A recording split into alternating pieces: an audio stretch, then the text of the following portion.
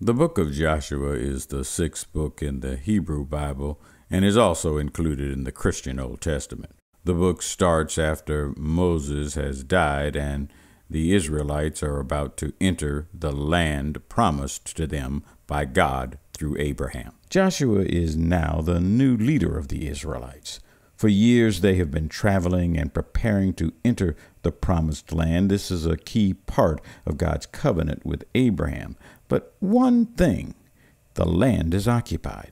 It's Joshua's charge to lead his people to occupy this land. Now, remember, Joshua is taking over from Moses, who had led his people out of Egypt through the wilderness and to the edge of the promised land. This is like stepping in the place of Gandhi, Lincoln, and Martin Luther King all rolled up into one. Standing alone, it is impossible, but we all know that with God, all things are possible. Keep in mind, Joshua was human just like the rest of us. His mind was preoccupied with the challenge before him, thinking about the task that he must do, feeling the weight of responsibility. Who knows what assassins may be lurking? I fear the knives of Hittite assassins far less than the loss of faith I see in my generals' faces.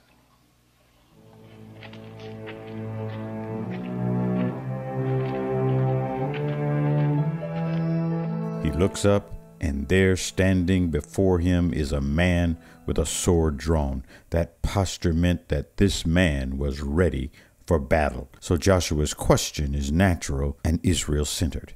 Are you with Israel or against Israel? Like modern Christians, the challenge before us often becomes our battle, even when we are commissioned by God. The messenger recenters Joshua. This battle was not Israel's battle.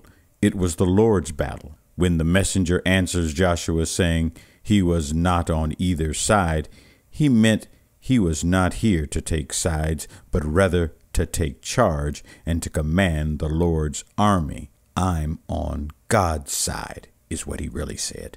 Joshua, quickly recognizing the necessity to submit, replies, What do you want the Lord's servant to do?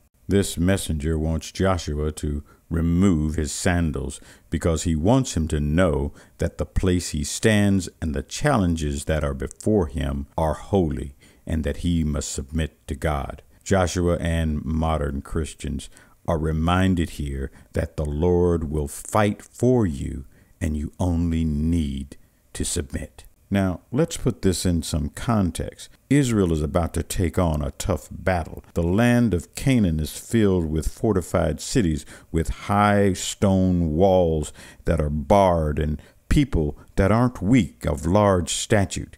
Israel was seeking to remove them from the land. That meant Israel needed a decisive victory. Then and now, God never leaves his people seeking to do his mission without a divine plan.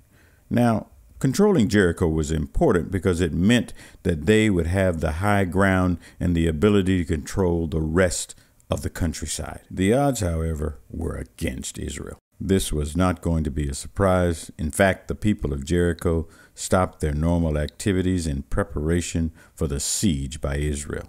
If Joshua had asked his military advisers, not one of them would have devised the plan described in chapter 6. This emphasizes to modern Christians that it's not necessary for us to understand God's plan, but it is necessary for us to obey God's plan. Before the Lord explains his plan, he graciously assures Joshua that the victory is his, saying, See, I have given you Jericho. Now, God's plan, to say the least, is unconventional. No battering rams, no ladders for the walls.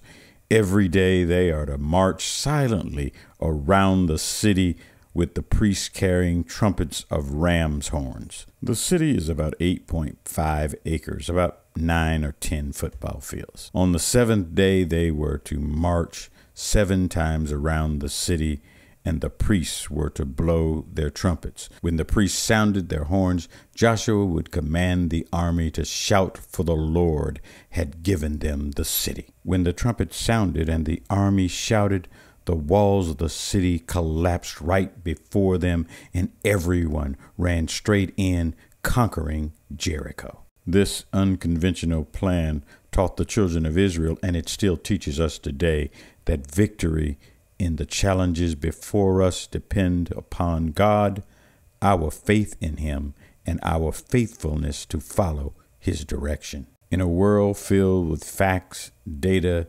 informatics, sometimes all of us must stand before individual giants with just a sling and a stone of faith, so that the victory is not ours, but clearly His. That's the lesson for this week. Have a great week. Bye.